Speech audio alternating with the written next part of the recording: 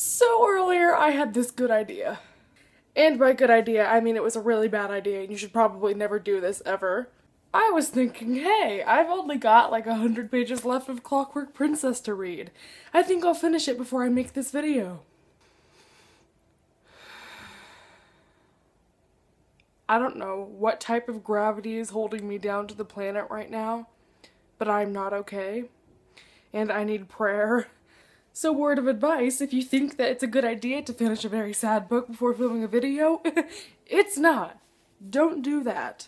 So let's talk books. In the month of October, I keep on wanting to say November wrap up, but I'm like, that month hasn't even happened yet.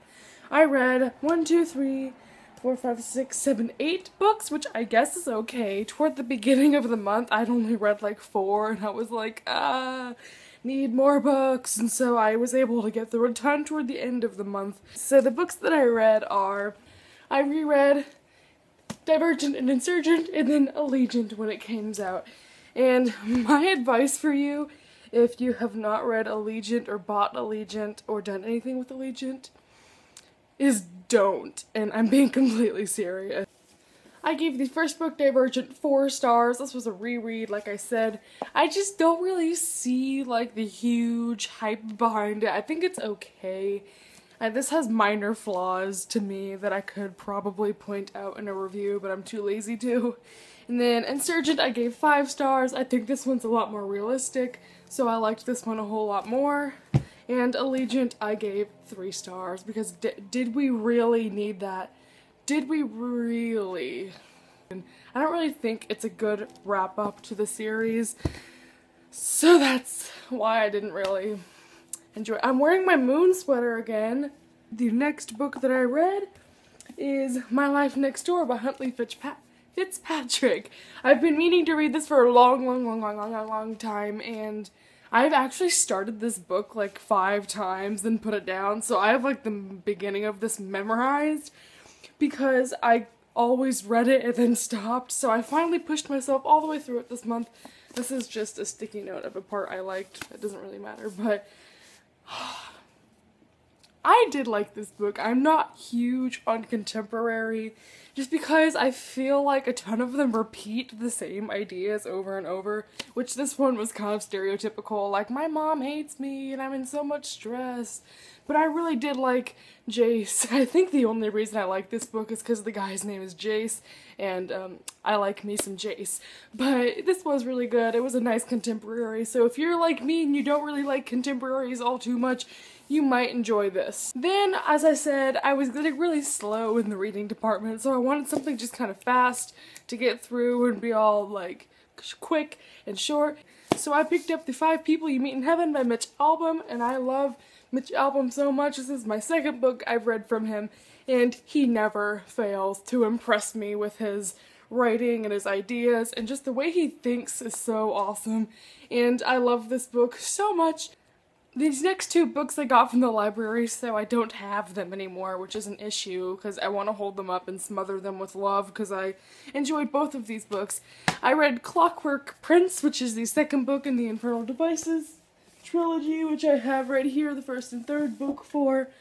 And this one, uh, the first book, I only gave four stars, and I was like so ready to love this series, but I read it and was like, it's okay. I was very saddened by that because I wanted to love this series, but I ended up just kind of liking it.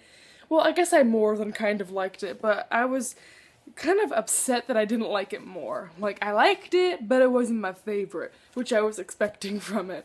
But Clockwork Prince was better than the first one, and I gave it like 4.99999 stars. It was good, but I couldn't bring myself to give it full credit because I disagreed. Not disagreed with some of the ideas, but some of the things just didn't sit right with me. I don't know if that made sense. But then I read Fangirl by Rainbow Rowell, and this is my new favorite book of 2013. Maybe other than like Unravel Me or something, but seriously, that book is my biography. It's terrifying. I cannot explain the amount of like fear I was experiencing because I would be like, that's me that's me. That's she has an Aunt Lynn. I have an Aunt Lynn, and if you're watching this, Auntie Lynn, hi. Anyway, but it was just so freaky, and it was me, and it was so good. I cannot explain to you how good it is. But I did do a written review of it because I recently activated a Tumblr account! Yay, Tumblr! So my Tumblr is whittynovels.tumblr.com if you are interested in it because I'm doing like written reviews there and I'm reblogging a bunch of fandom stuff. So if you like books and you like written reviews, then check my Tumblr out. I'm gonna have a Tumblr link and then a specific link to my fangirl review that I did there. Um, I have a written review there, like I said, and I kind of further go into the reasons why I loved Fangirl. So if you were interested in seeing that, again, it'll be linked below. And then there were like four days left in the month, and I was like, mm, I need something to read, and I need something quick and fun and night, night, nice and light. So me and Manuel, I'm probably still pronouncing his name wrong he had asked me if we wanted to do a little read along thing, and I was like, yes, yes, books is what I do. So we agreed that we would read the archived, and then we read this together within a two or three day period. He liked this book more than I did. I liked it. I gave it like a four stars, and he gave it five stars, and he really loved it. And we're both gonna review this soon. So if you want to have a review of someone who really loved it, then you should check out his channel, Book Hunter 155 He'll probably have a review up on it soon. If not, already up. I haven't checked. And then I'm gonna do a review also, but it might be a little bit more critical just because I found more things to nitpick over. But definitely, this is a nice book. I enjoyed it. I want the second one. Let's keep flailing it around. Thank you for watching, Doodles! I know you saw it, so I'll play it for you.